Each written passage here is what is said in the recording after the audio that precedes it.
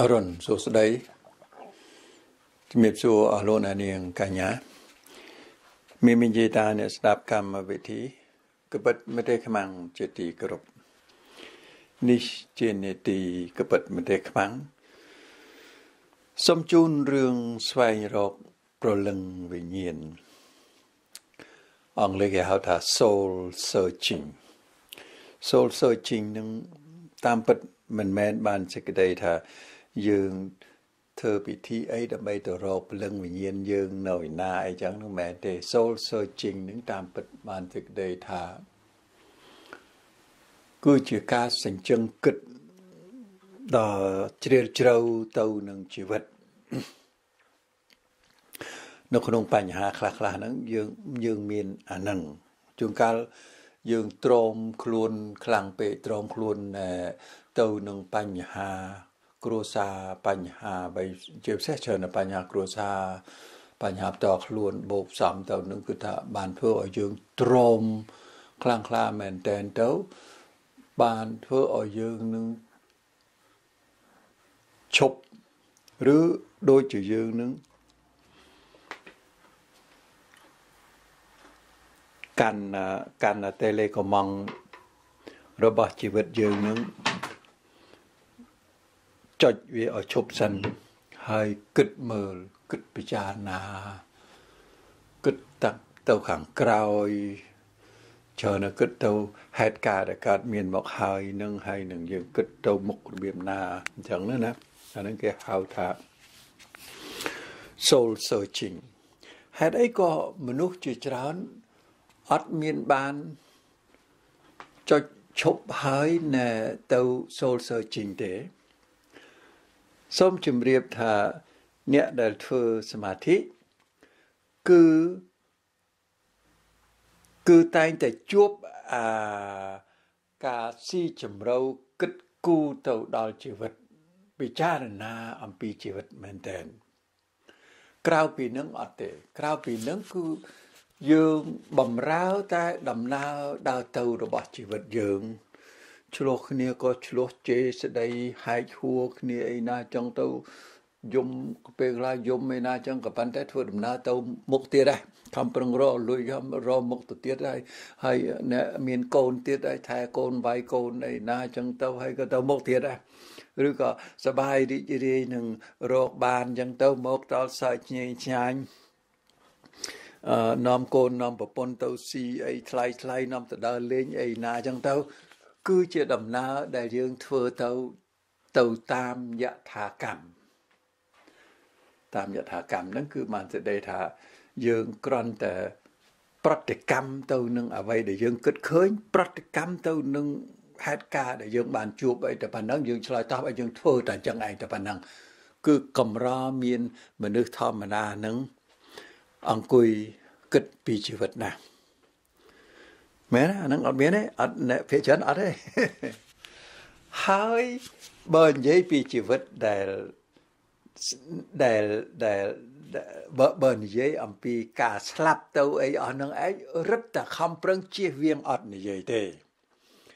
ប្រពៃណីខ្មែរខ្លះប្រពៃណីចិនរឹតតែអត់និយាយហ្មងអារឿងថាអើយបើងាប់ទៅអីយ៉ាងម៉េចយ៉ាងម៉េចអីណាហ្នឹងគឺអត់និយាយទេ គឺថាអានឹងគឺថាគេខំប្រឹងព្យាយាមមិននិយាយទេអានេះខ្លះគេថានិយាយទៅវាចង្ញាយអីណាអញ្ចឹងណាតាមពិតអត់មានស្អីចង្រៃទេបងប្អូនជាទីគោរពដែលគិតអំពីរឿងយើងតិចទៀតយើងងាប់ទៅនឹងយើងចង់ឲ្យកូនចៅធ្វើអីខ្លះ មែនរឿងចង្រៃទេ នៅលើលោកនេះ ក្នុងទ្រឹស្ដីរបស់ពុទ្ធសាសនាមែនតើគ្មានអ្វីដែលចង្រៃទេ នៅលើលោកយើងនេះ មានតែចិត្តវាចវេរបស់យើងទេដែលចង្រៃអូខេអ៊ំនិយាយនឹងនិយាយទៀតអត់មានដើមឈើនេះចង្រៃដើមឈើនោះព្រាយកាន់ដើមឈើនេះខ្មោចលងអីណាអត់មានទេផ្ទះនេះណែ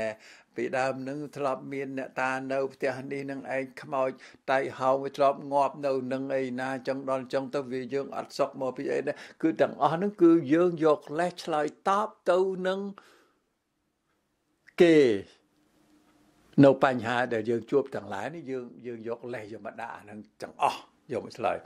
ទីបំផុតទៅគឺអត់មានស្អីដែលចង្រៃទេអ្វីដែលចង្រៃនឹងគឺខ្លួនយើងជាអ្នកបានគិតហើយធ្វើនៅអ្វីដែលនឹងនាំមកនៅអភមង្គល គឺការធ្វើនៅអំពើបាបទាំងឡាយបានវាចង្រៃដោយហេតុនេះថ្ងៃនេះអ៊ំនិយាយអំពីរឿងបុណ្យសពហ្នឹងគឺជារឿងដែលអ៊ំនិយាយបានបងប្អូនមួយចំនួន គឺអត់ ហ៊ាននិយាយទេដល់អញ្ចឹងអ្នកឯងត្រូវតែគិតអានឹងឲ្យហើយទៅត្រូវតែគិតកុំឲ្យចាត់ទុកថាសយចង្អាយតែឯណាអញ្ចឹងត្រូវតែគិតពីព្រោះថា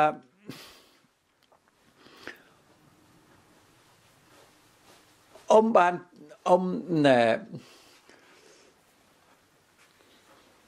អ៊ំមានមនុស្សពីរនាក់ហើយដែលគេស្រឡាញ់រាប់អានអ៊ំ គេបានគេបានស្នើសុំឲ្យអ៊ំនឹងណែកាន់ស្មើស្នើសុំឲ្យអ៊ំនឹងជាអ្នកដែលកាន់លុយថែរក្សាលុយរបស់គេដើម្បីណែពេលដែលគេអស់គេហៅថាខ្មែរយើងគេថាអស់សំណាងទៅនឹងអ៊ំជួយចាត់ចែងបុណ្យធ្វើបុណ្យធ្វើអីចេះទៅណាគេបកគលឲ្យអញ្ចឹងដោយសារតែគេស្រឡាញ់គេស្រឡាញ់ហើយគេជឿទុកចិត្តដែរណាអានឹងណាគេឲ្យអញ្ចឹង មាន2នាក់ហើយប៉ុន្តែ2នាក់ហ្នឹងសុទ្ធតែអ៊ំប្រកែកទាំងអស់អ៊ំអ៊ំអត់ធ្វើទេពីព្រោះអាការការចឹងចឹងអ៊ំមិនធ្វើទេដល់តែពេលអឺគាត់ខូចទៅនឹងអ៊ំចូលរួមធ្វើអស់ពីចិត្តពីអីចឹងក៏ប៉ុន្តែឲ្យអ៊ំទៅកាន់លុយនឹងដើម្បីធ្វើអានឹងអ៊ំមិនកាន់ទេអានេះនេះជានិស័យរបស់អ៊ំដែលអញ្ចឹងចឹងអ៊ំមិនចូលចិត្តទេពីព្រោះថា អ្នកទាំងពីរនោះសុទ្ធតែមានកូនឬក៏កូនក្មួយរបស់ខ្លួនក៏ប៉ុន្តែកូនរបស់គាត់คล้ายទៅជាអណោចអធមដែលគាត់មិនទុកចិត្តហើយមិនទុកចិត្តអាលុយនឹងទៅទៀត មិនទុកចិត្តអាលុយនឹងថាបានទៅលើកណ្ដាប់ដៃវានឹងឯងវានឹងអស់ទៅណាដល់ពេលទីបំផុតទៅគាត់ស្លាប់ទៅនឹងច្បាស់ជាមិនដឹងជាយកខ្មោចយកទៅណាឯណាអញ្ចឹងណាគាត់ចឹងអានឹងអណោចធមណាបងប្អូនអណោចធមណាណាហេតុអីក៏អាបាតុភូតនឹងកើតមានឡើងនៅស្រុកនេះ ប្រហែលជាអបាតុភូតនឹងឯងនៅស្រុកខ្មែរឥឡូវនឹងក៏ចាប់ដើមកើតមានឡើងដែរអ៊ំសង្ស័យប្រហែលជាចាប់ដើមមានដែរគឺជារឿងអណោចអធមណាស់គឺអានឹងបង្ហាញអំពីការបែកបាក់សិលធម៌របស់មនុស្សដែល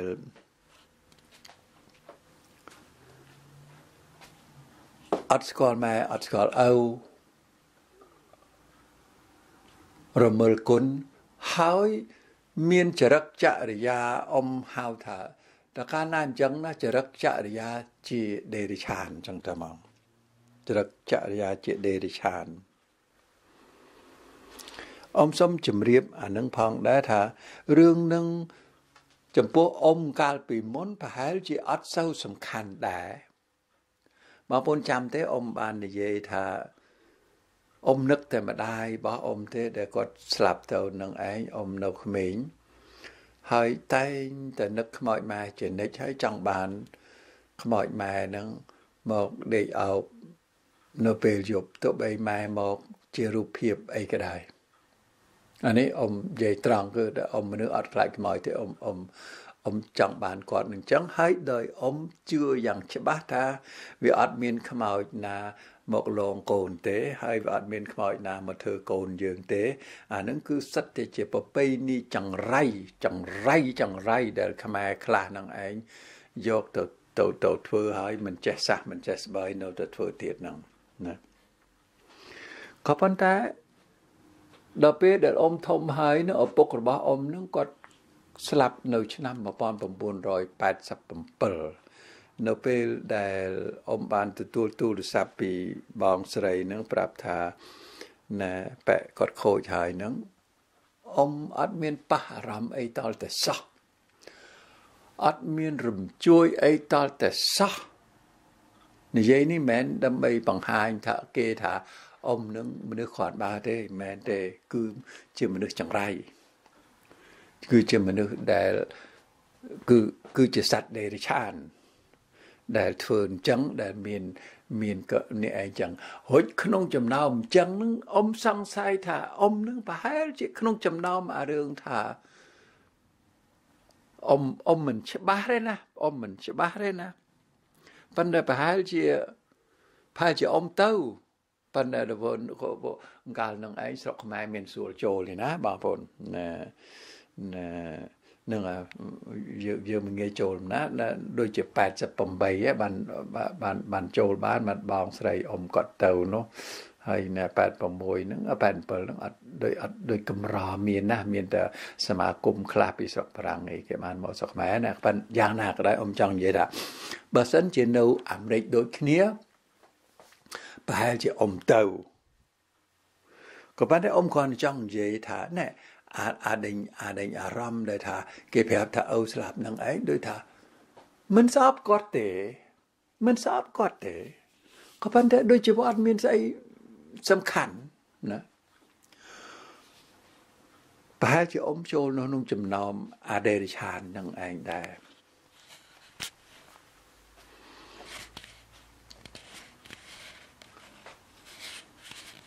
ទៅទៅទទួលទោសតែអ៊ំបាន លាលៀងបាបនឹងអស់ហើយអំបានលៀងបាបលៀងហើយព្រោះលៀងនៅចិត្តណែចិត្តដូចដេរឆាននេះអស់នឹងទៅនឹងឪពុកម្ដាយអីនឹងអមបានលៀងធ្វើអមបានសូត្រធរលៀងនឹងរាល់ថ្ងៃអីចេះស្លាដែលអមដឹងថាបានចេះស្លាស្រួលបួលហើយវាព្រោះអ មនៅពេលដែលចេះស្លាស្រួលបួលយើងដឹងខ្លួនយើងចឹងហ្មងអូខេដឹងអានឹងអានឹងអត់អីណាអមគាត់ចង់ជម្រាបថាអបតភូតនៃឪពុកម្ដាយនៅក្នុងចំណោមខ្មែរខ្មែរខ្មែរចិនដែលអ៊ំស្គាល់ទេណាពីព្រោះខ្មែរអាមេរិកកាំងអ៊ំមានមិត្តអាមេរិកកាំងនោះក៏តិចណាស់ដែរទេហើយយើងគ្រាន់តែឃើញនៅក្នុងព័ត៌មានផ្សេងផ្សេងអីយើងដឹងថាណែ អឺពពួកមួយចំនួនហ្នឹងវាធ្វើអញ្ចឹងក៏ប៉ុន្តែដោយសារតែយើងជាខ្មែរខ្មែរឬក៏ខ្មែរចិនដែលយើងធ្លាប់ដឹងប្រពៃណីរបស់យើងនឹងគឺថាយ៉ាងម៉េចក៏ដោយគឺថាពេលឪឬក៏ម៉ែស្លាប់នឹងឯងកូននឹងទៅអីណាអញ្ចឹងយើងដឹងអញ្ចឹងណាយើងយើងវាទ្រលាប់ថាអញ្ចឹងទម្លាប់តែអញ្ចឹងតែដល់ឥឡូវនេះណាអត់អញ្ចឹងទេបងប្អូន អត់អញ្ចឹងទេហើយខ្មែរខ្មែរចិនថៃដែលអ៊ំស្គាល់អ៊ំដឹងតាមរយៈបងស្រីខ្លះអ៊ំស្គាល់ខ្លួនឯងខ្លះនឹងរស់នៅកណ្ដោយកណ្ដែងតែឯងតែឯងបងប្អូនតែឯងជាច្រើនទេដែលអ៊ំថាច្រើនហ្នឹងមកពីយើងនៅស្រុកខ្មែរវាអត់មានអានចឹងកាលពីមុនណាកាលមុនវាអត់មានអានចឹង ទេឥឡូវអាចមានចឹងដែរព្រោះលឺសូថាម្នាក់ម្នាក់ណែធ្វើចំណាក់ស្រុកចេញទៅណែរកការងារធ្វើនៅបរទេសហើយនៅសល់ថាយាយឬក៏តាចាស់នៅនឹងមើលចៅណែអឺមីកូនខ្លះនឹងវាទៅពេញវាទៅវាទៅជន់គ្នាផើមកយកកូនខ្ញុំទុកឲ្យណាចឹងមានមានចឹងមែនអាណោចអធមណាស់ណាបងប្អូនជាទីគោរព មនុស្សដែលរស់នៅតែឯងបានដោយគ្មានការលំបាកណា មានតែពពួកអ្នកដែលមុតមមនឹងសាសនាទេ អ្នកមុតមមសាសនាដូចជាលោកតដងលោកតដងដែលលោកតដងដែល ត្រឹមត្រូវមែនតែនរបស់គេនឹងគឺថាលោកនឹងគឺថាអត់មានទោសអត់មានទោសអីទេមកគឺថាធ្វើដំណើរទៅអញ្ចឹង ចំពោះអ៊ំខ្លួនឯង អ៊ំអត់បញ្ហាទេរស់នៅតែឯងគឺអត់បញ្ហាពីព្រោះអ៊ំជាមនុស្សដែលប្រតិបត្តិធម៌មមតំហើយអ៊ំទទួលយកបាននៅនៅនៅភាវៈពិតសភាពពិត the, the true reality នឹងឯងពិតហើយនឹងអត់មានអីប្របាតទេអត់មានបាទមិនមែនយំសោកហើយក៏មិនមែននិយាយនឹងដើម្បីបិទ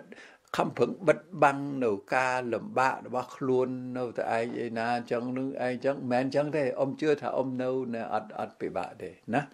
តែអ៊ំមិនទាន់នៅតែឯងទេតែអ៊ំចង់ជម្រាបថាមនុស្សជាច្រើននៅតែឯងពិបាកបងប្អូនដែលជាកូនជាចៅរបស់ណែពុក ឬក៏ម៉ែឬក៏យាយឬក៏តារបស់យើងនឹងឯងត្រូវដឹងត្រូវដឹងអាចំណុចនឹងគឺពិបាកខ្លាំងណាស់គឺថាទេមិនដែលស្រួលទេកុំកុំគិតងាយងាយថាស្រួលណា ដោយហេតុនេះហើយយើងដែលជាកូនជាចៅនឹងឯងត្រូវតែខំប្រឹងខំប្រឹង ធម្មតាទេ អ្នកណាក៏រវល់ដែរហើយបើយើងអត់រវល់នឹងយើងជាមនុស្សអត់កើតដែរយើងត្រូវតែរវល់នឹងការងាររវល់នឹងការងារនឹងហើយក៏ប៉ុន្តែយើងត្រូវដឹងថា យើងចិញ្ចឹមកូនរបស់យើងវាចេះតែធំទៅ យើងរវល់នឹងវាក៏កាន់តែច្រើនដែរក៏ប៉ុន្តែឪពុកម្ដាយជីដូនជីតាយើងគាត់ចេះតែតូចទៅ បានសេចក្តីថាទីទៀតគាត់ស្លាប់ហើយអាអាអាឆ្នាំដែលគាត់ត្រូវស្លាប់ទៅវាចេះតែរួញទៅរួញទៅកូនយើងវាចេះតែធំទៅធំទៅ ឆ្នាំវានៅវែងណាស់ចំណែកពុកម៉ែយើងយាយតាយើងនឹងឯងគាត់កាន់តែផុតទៅផុតទៅហើយពីព្រោះការដែលយើងបានទៅបណៈបនេះបនិបណៈជាមួយគាត់មើលថែរក្សាគាត់ទាំង ណាម្ដាយមីងក្តីឪពុកមាក្តីដែលដែលដែលមានតំណែងល្អឲ្យអស់ហ្នឹងណាគឺយើងត្រូវឲ្យតម្លៃអាហ្នឹងឲ្យតម្លៃស្អីក្តីបងប្អូនស្អីក្តីអ្នកណាក៏រវល់ដែរក៏ប៉ុន្តែទីបំផុតទៅវានៅលើការដែលយើងឲ្យតម្លៃទៅលើទៅលើស្អីដូចជាអឺ ពាក្យខ្មែរយើងគេហៅថាគេហៅថាណាពាក្យគេហៅថាអាពៀនវាំងអាពៀនវាំងណាពាក្យខ្មែរបងដែលដែលដែលលឺសូគេជេហ្នឹងអាពៀនវាំងពៀនវាំងណាដែលគេហៅថាពៀនវាំងហ្នឹងគឺពពួកអាផ្លោះលបងចូលទៅក្នុងកំផែងវាំងអាពួកផ្លោះលបងចូលក្នុងកំផែងវាំងគឺស្ទើរតែទាំងអស់គឺសុទ្ធតែរឿងស្នេហា ទៅជួបនាង គូស្នេហ៍របស់ខ្លួន នៅក្នុងវាំងពីព្រោះពពួកស្រីស្នំហើយនឹងស្រីណែរបាំមួយចំនួននឹងឯងនឹងគេគេគេយកទៅគេយក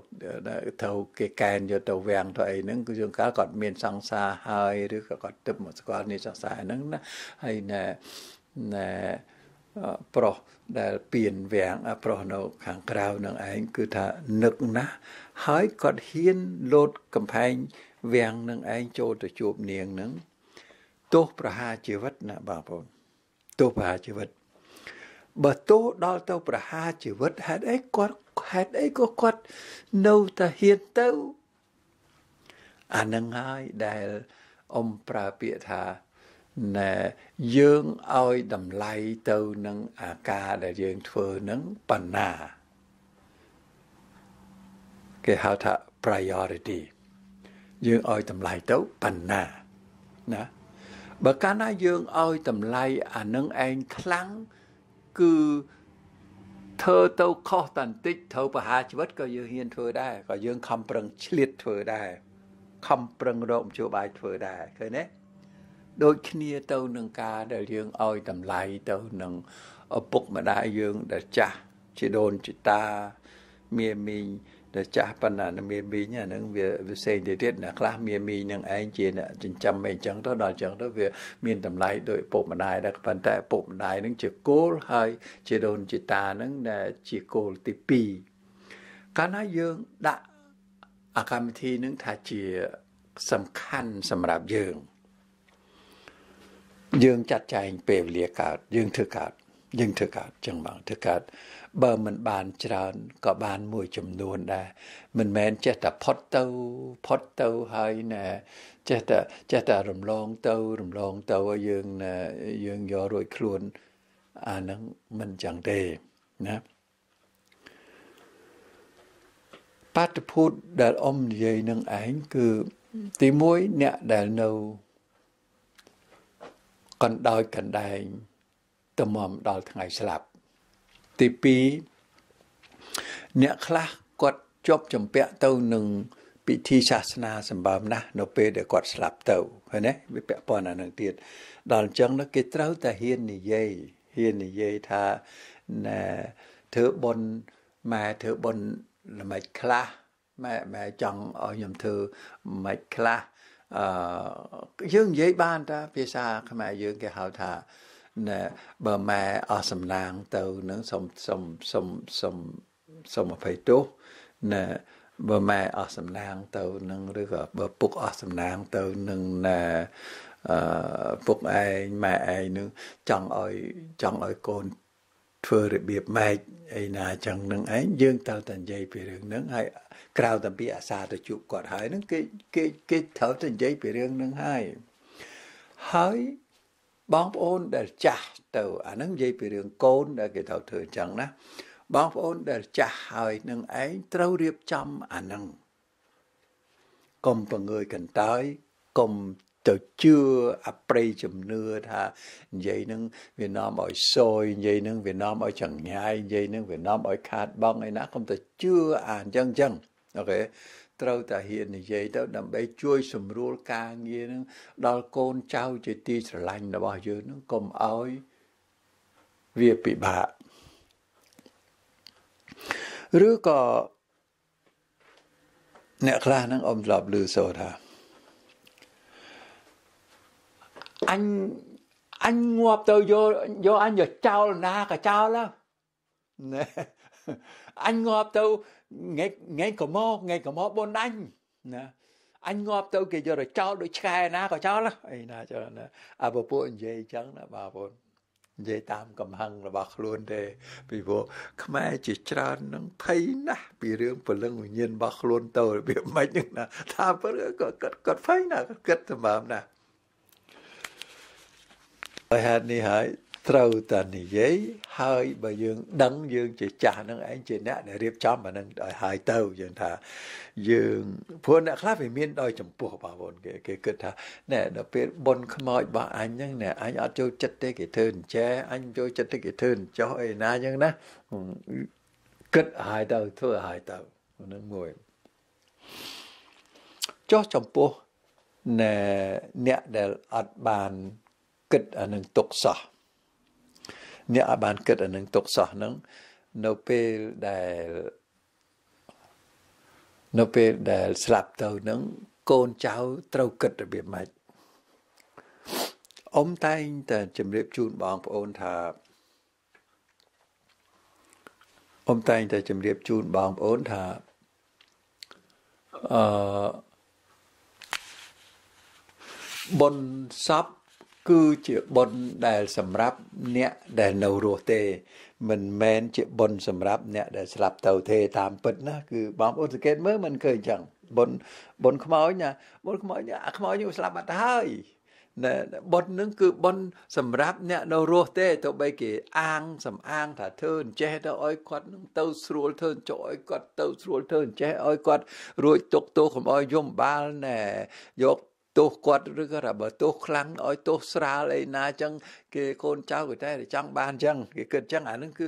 ទៅតាមចំណូលរបស់កូនចៅដែលធ្វើនឹងទេវាគ្មានវាគ្មានស្អីទេវាសំខាន់រឿងអ្នកដែលនៅរស់នឹងទេភ្លេងខ្លងខែកភ្លេងអីនេះមិនឃើញទេគឺសិតតែជាភ្លេងដែលបញ្ញាក់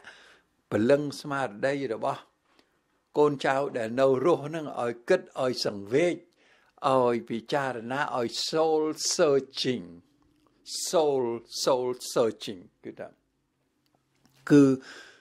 គិតស៊ីជម្រៅទៅនឹងជីវិតនៅបានវាដឹងថាអូអញ្ចឹងហើយបានមានពាក្យថាអូជីវិតណាអាហ្នឹងឃើញទេណែទៅបីអ៊ំនិយាយចឹងក៏ដែរក៏ប៉ុន្តែបងប្អូនត្រូវដឹងថាចេះបើសិនជាឪពុកម្ដាយរបស់យើងនឹងឯងគាត់ជាអ្នកធម្មតាទេ ដែលអ៊ំសង្កេតឃើញនៅស្រុកខ្មែរយើងឪពុកម្ដាយរបស់យើងបើគាត់ជាអ្នកធម្មតាទេណាធ្វើបុណ្យនៅវត្តណែហើយធ្វើបុណ្យនៅវត្តហើយមានធ្វើបុណ្យពិធីណែបុណ្យខ្មោចបែបចិនទៀតឃើញមកខ្មែរឃើញមកបុណ្យខ្មែរយើងគេគេ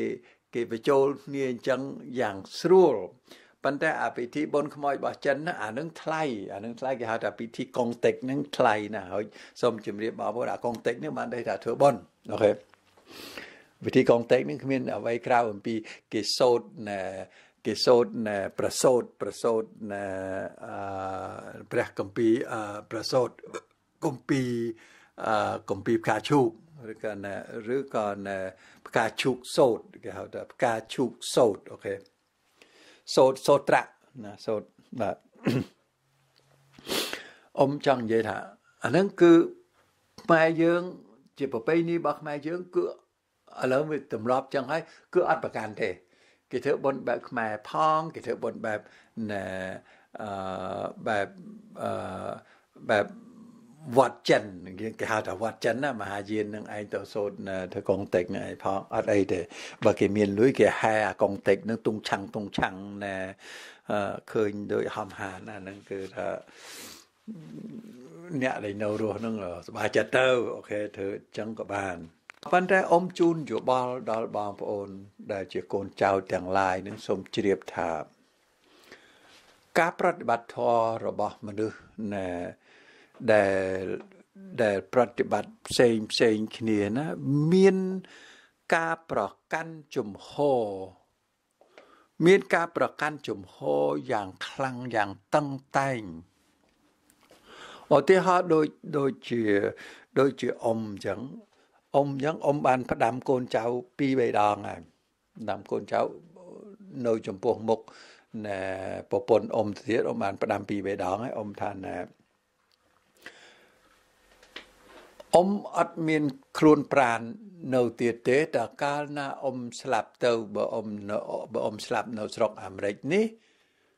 ឬក៏ថាអ៊ំងាប់នៅស្រុកអាមេរិកនេះ គឺថាពេទ្យគេមានសិទ្ធិយករបស់ខ្លួនអ៊ំទាំងមូលនឹងចឹងតែបងទៅបារាយហើយដល់ចឹងបាទអ៊ំថាអ៊ំហាមអត់ឲ្យធ្វើបន់អីទេ មានតែអឺអញ្ជើញមិត្តភ័ក្តិ ញាតសន្តានដែលសូត្រធរតាមបែបមហាយានដែលអ៊ំសូត្រនឹងឯងឲ្យគេមកសូត្រធរនៅផ្ទះអ៊ំមួយថ្ងៃហើយធ្វើ7ថ្ងៃទៀតបើធ្វើមិនធ្វើមិនធ្វើក៏ហើយទៅមិនស្អីទេក៏ប៉ុន្តែសូត្រធម៌ណាទៀតដែរហើយបានចាប់ហើយអ៊ំហាមអត់ឲ្យចំណាយលុយចំណាយអីណាមកណាសាប់របស់អ៊ំអ៊ំនិយាយហ្នឹងមិនមែនក្តៅក៏ហាយពីរឿងអីអីអត់ទេគឺអ៊ំឃើញច្បាស់ចឹងតែមកខ្លួនប្រាណរបស់អ៊ំបានប្រគល់ ជូននៅស្រុកអាមេរិកហ្នឹងគេមានគេមានណែគេគេគេមានរបៀបគេអញ្ចឹងត្មងគឺនៅក្នុងកាបូបយើងនឹងគឺយើងដាក់ណែមានតសេផងរួចណែឈ្មោះយើងនឹងនៅណែនៅណែបានបើកបរយើងនឹងណែគេច្រើនដាក់អញ្ចឹងគឺថាបានបើកបរនឹងប៉ូលីសគេមើលទៅគេដឹងភ្លាមហ្មងគាត់ថាបុគ្គលនេះបានសញ្ញេខ្លួនខ្លួននឹងឲ្យទៅណែ ឲ្យទៅសាធារណៈឲ្យទៅរត់ឲ្យទៅរត់នឹងគេយកគេយកខ្លួនយើងយកទៅប្រើការឲ្យបើសិនជាឧបមាបើសិនជាបេះដូងអ៊ំនៅល្អគេយកទៅប្រើការទៅណែស្អីថ្លើមនៅល្អគេយកទៅកលៀនទាំងពីរនឹងច្បាស់ជាគេយកទៅប្រើទៅហើយណែស្អីទៀតអ៊ំមកដឹងគេយកស្អីអ៊ំដឹងគេយកស្អីខ្លះទៀតយកប្រើទេណា ប៉ុន្តែអានឹងគឺថាយកចោះសាធុសាធុសាធុវាបានចម្រើនថែមទៀតអូខេតែប៉ុណ្ណឹងហើយអ៊ំអត់មានចាំបាច់អស់ដីទៅទិញដីទិញអីណាស្អីណាអត់ចាំបាច់ទេ វាសំខាន់នៅត្រង់ថាបើយើងរលឹកនឹកដល់ឪពុកម្ដាយយើង មែនតើយើងអង្គុយសូត្រធម៌អង្គុយសមាធិអង្គុយសូត្រធម៌រំលឹកនឹកដល់គាត់ដុតធូបដុតក្បានមិនដុតក្បានដែរព្រឹកល្ងាចចឹងទៅអានឹងគឺជាពិសេសហើយពិសេសហើយអានឹងណាការពិតនោះអ៊ំមើលឃើញអានឹងច្បាស់លាស់ចឹងអ៊ំនឹងធ្វើចឹងហើយអ៊ំហាមចឹងទៀតហើយអ៊ំក៏បានផ្ដាំអ៊ំហាមនៅស្រុកខ្មែរតែក្រែងនោះថាអ៊ំទៅស្រុកខ្មែរទៅវាចាយដល់អ៊ំទៅងាប់នៅស្រុកខ្មែរណា អ៊ំហាមបងប្អូនស្រុកខ្មែរឲ្យហើយទៀតគឺហាមអត់ឲ្យតិចលោកថាចេះដឹងអីអ៊ំងាប់ទៅនោះវាមកទៅដើមណែយកសពអ៊ំនឹងថាទៅធ្វើបុណ្យទៅអីហ្នឹងអ៊ំថាព្រលឹងវិញ្ញាណអ៊ំនឹងតាមកាច់ឯងតាមកាច់វាទៅទៀតណែណែមិនធំតាមិនធំតាមិនមាត់ណែឲ្យដឹងគុណថាវាធ្វើបុណ្យឲ្យណាអ៊ំនឹងទៅតាមកាច់វាទៅទៀតហើយនេះក៏អក្រក់ម៉ែអ៊ំ អ៊ំអីក៏អក្រក់ម៉ែគាត់គេធ្វើបុណ្យឲ្យនឹងណែនិយាយភាសានឹងមើលតែសัตว์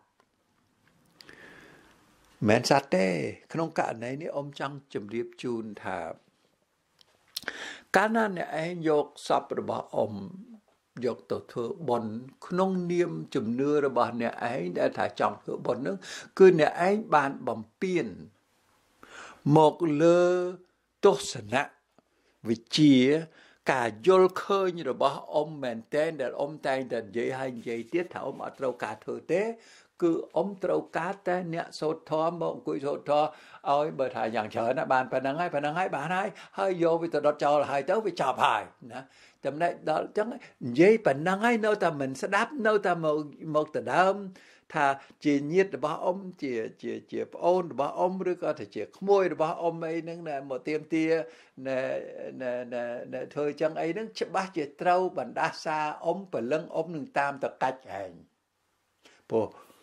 សុកម៉ែមនុស្សវាខ្លាចដល់ចឹងទៅវាវាត្រូវតែប្រយ័ត្នខ្លួនអាត្រង់ហ្នឹងអ៊ំទេអ៊ំនឹងតាមតកាច់មែននិយាយមែនតើអាត្រង់ហ្នឹងការនិយាយនឹងដើម្បីបញ្ជាក់ឲ្យបងប្អូន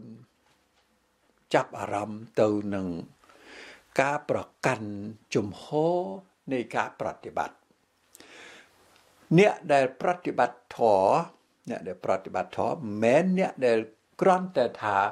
កាន់សាសនាអីចឹងកាន់ពុទ្ធសាសនាអីណាចឹងមិនមែនទេដូចជាពពួកគ្រីស្ទៀនចឹងពពួកគ្រីស្ទៀនដែលគេកាន់មែនទេគេ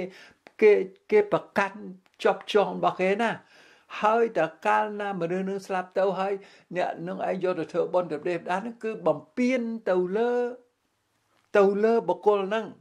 បំពេញទៅលើបុគ្គលហ្នឹងអ៊ំនិយាយអានឹងនិយាយអានឹងហើយនិយាយទៀតដល់ក៏ប៉ុន្តែមនុស្សអត់យកចិត្តទុកដាក់មនុស្សមិនយកចិត្តទុកដាក់នឹងថាកាលពីមុននឹងម៉ែឪយើងនឹងគាត់ធ្វើអីខ្លះអ្នកខ្លះនឹងម៉ែឪយើងនឹងគាត់បាន គាត់គាត់ជាអ្នកដែលគោរពពុទ្ធសាសនាណាឧទាហរណ៍អញ្ចឹងឯណាហើយដល់កូនចៅក្រោយនេះឯងគេទៅគោរពព្រះគ្រីស្ទណាអ៊ំអត់មានចំទាស់អីទេអារឿងនឹងអត់ប្រែតអត់ទេក៏ប៉ុន្តែដល់តែពេលម្ដាយឪពុកនឹងស្លាប់ហើយនឹងគាត់អត់ព្រមឲ្យគាត់អត់ព្រមធ្វើបុណ្យម្ដាយឪពុកនឹងទៅវត្តពុទ្ធសាសនាទេពីព្រោះគាត់ដាច់ខាតថាត្រូវតែ ខាងគ្រឹះសាសនាឃើញទេអានឹងគឺជាការបំពេញទៅលើគាត់គាត់មិនល្អយ៉ាងណាអ្នកឯងល្អយ៉ាងណាអានឹងរឿងផ្សេងទេប៉ុន្តែកុំបំពេញទៅលើគាត់គាត់បានគោរពស្រឡាញ់របស់គាត់នឹងយើងបំពេញនីតិនឹងជូនគាត់ទៅគាត់កាន់អញ្ចឹងហើយក៏ដូចគ្នានឹងផងដែរដូចគ្នានឹងផងដែរបើសិនជាឪពុកម្ដាយនឹងជាគ្រឹះសាសនា គាត់គាត់គ្រឹះសាសនាគាត់មិនសូវជាប្រតិបត្តិគាត់គ្រឹះសាសនាប៉ុន្តែកូននឹងឯងក្រោយមកនឹងឯងវាមកស្រុកក្រៅទៅខ្លាយទៅជាអ្នកពុទ្ធសាសនានឹងក៏ដែរក៏មិនត្រូវបង្ខំធ្វើបន់នឹងឲ្យម៉ែឪទៅតាមការដែលយល់ឃើញរបស់ខ្លួនទេចំពោះអ្នកដែលប្រកាន់ជំហរសាសនាដ៏រឹងមាំរបស់គាត់នឹងយើងត្រូវតែគោរពទៅតាមហ្នឹង ពីព្រោះខ្មែរមួយចំនួនស្រួលទេដោយអ៊ំនិយាយចឹងថាគាត់ធ្វើបុណ្យចិនផងធ្វើបុណ្យខ្មែរផងធ្វើបុណ្យអីទៀតផងមិនដឹងអ៊ំមិនដឹងទេអានឹងវាស្រួលទេខ្មែរមួយចំនួនគាត់ស្រួលទេអ្នកអញ្ចឹងវាអត់អីទេយើងធ្វើទៅតាមស្រួលចឹងទៅក៏ប៉ុន្តែចំពោះអ្នកដែលប្រតិបត្តិមមតំនឹងកូនចៅមិនគួរបំពេញគាត់ទេនៅត្រង់នឹងបាទនេះជានេតិកបិតមតិខ្មាំងសូមឲ្យ សញ្ជឹងគិតនៅបញ្ហាដែលអ៊ំនិយាយហ្នឹងថ្ងៃហ្នឹងហើយត្រៀមខ្លួនទៅ ទាំងចាស់ទាំងក្មេងបាទសុំឲ្យសុខហើយសុបាយផងបាទ thank you